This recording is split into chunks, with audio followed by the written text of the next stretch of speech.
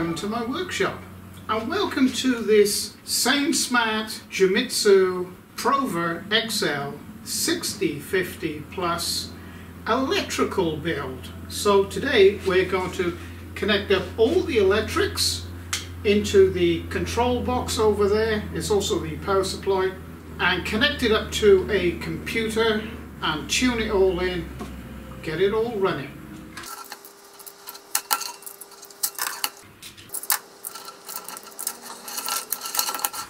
So after getting your very sticky tape off, uh, what you need to do is, for, look, for packaging purposes, they've actually uh, split this part. So you just easily slide the cable back down, like that. And clip it back in, like that. Just snaps back in, very easy. Sure the cable's pulled up firmly. And there's one cable here that's not. Let's see what they've done. Okay, so my suggestion would be to start with the uh, top of the gantry, the x-axis just lay it flat. And hook it in on its rest here. And lie it over like so. And we're going to connect the top up here first. Um, and that you use these are 4 millimeter screws, a little tiny ones, 4 millimeter uh, by uh, 5 or 6 mil. 6 millimeter long, okay? And these are countersunk head screws. So we're going to pop these in first, which is fairly simple, so as you get this wire out the way. I'm going to pop one in there. Actually I might get two in there. Like that might be easier. Like that. Just a standard Phillips screwdriver. The little tiny one they provide is really only for the uh, limit switches. So we'll start that one. And then, oh, I pop that in. Don't do that really tight yet. Just nip him down and slot those through slot it through a little further rather.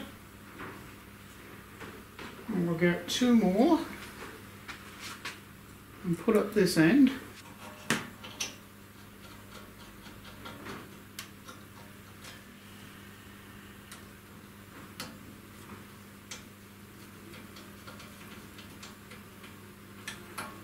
as this is going into plastic, there's no need to actually do it up, you know, sort of really jam it up tight.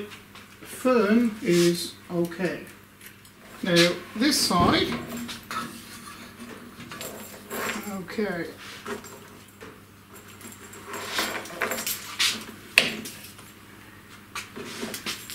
I would suggest to wrap wrap the cable around the back of the stepper motor there, the x-axis stepper motor, and we'll screw this on here.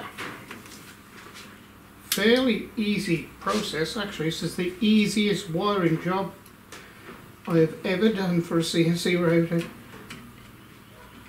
Simple, because all the work is done for you. Okay, last bracket, let's put this on here, just double the cable over a bit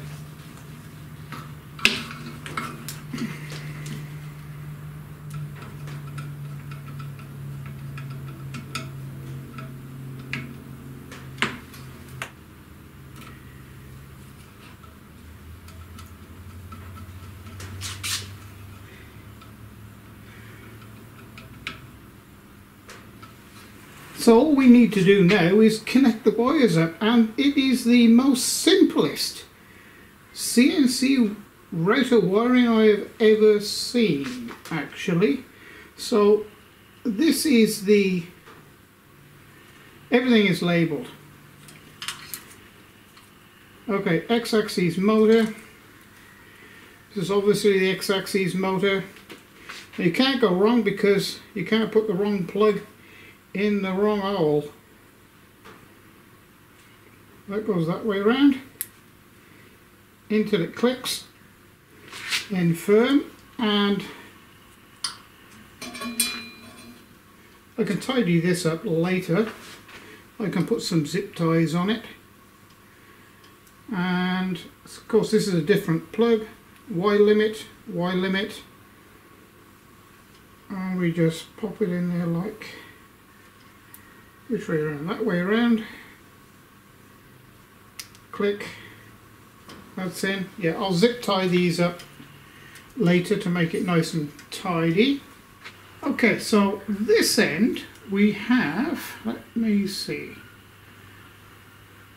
Uh, that's one of the Z limits spindle. So we put that one over there at the way actually for the moment because that one's got to you've got to take real good care of that one. So let's plug in the Z motor first. Z motor. Like that. Click. So now then, we have the X limit. Here's the X limit. And turn it around so we go on there. Click. That one's in. What we got here? Okay, laser. That we don't. Uh, it's, it's nice to know there's already cabled up for a laser which uh, we don't have for this particular model not yet anyway and we plug this one in which is the Z limit okay so I will zip tie these up and make it nice and tidy in a minute but I just want to take you around to the front um, because you've got to be fairly careful with these the 300 watt spindle motor.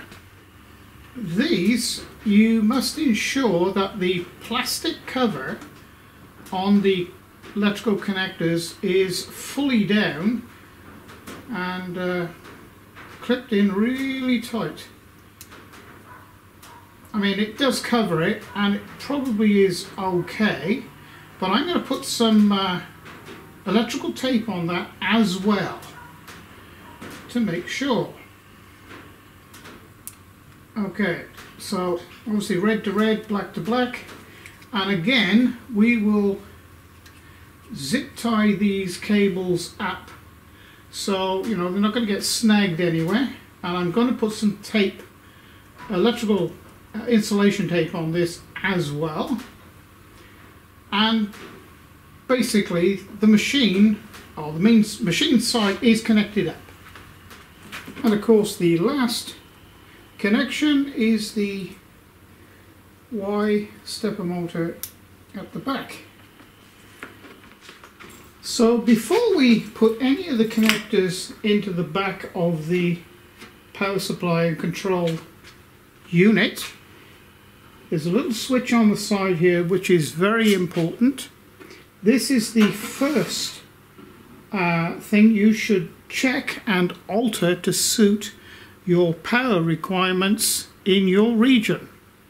Now, I live in Australia and we are on 2, 220 to 240 and this is set for 115 so we need to alter this.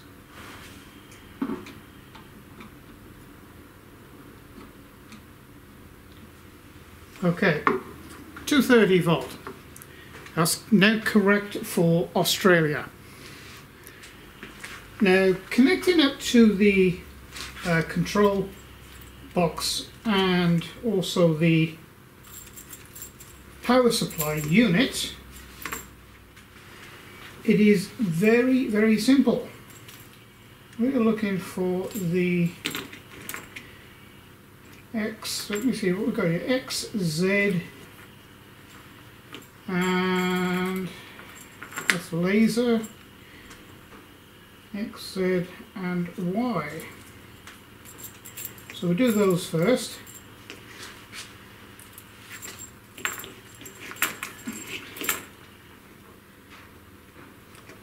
So X is first. Now these plugs will only go in one way.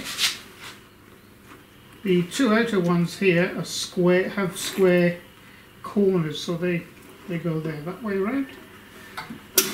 That's the X. The next one is the Y.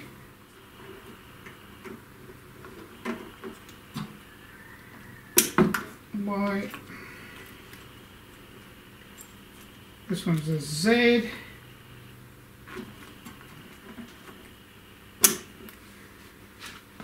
Okay, uh, we're not, I won't connect into the laser because it's not, I'm not going to be using on this. So pull that one back out of the way. So we've got uh, limit switches. Which one do we want first? Uh, X.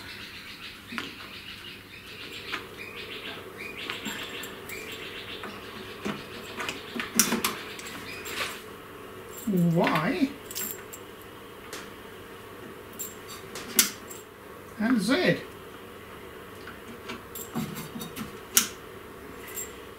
Actually, just to keep this out the way, we probably could connect it. And I'm never going to use it, but we'll connect it anyway. And the last cable here is, of course, the spindle.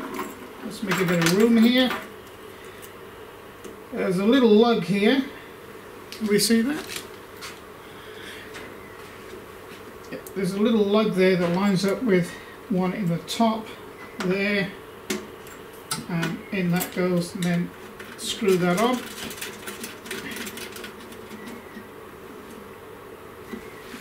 and last but not least is the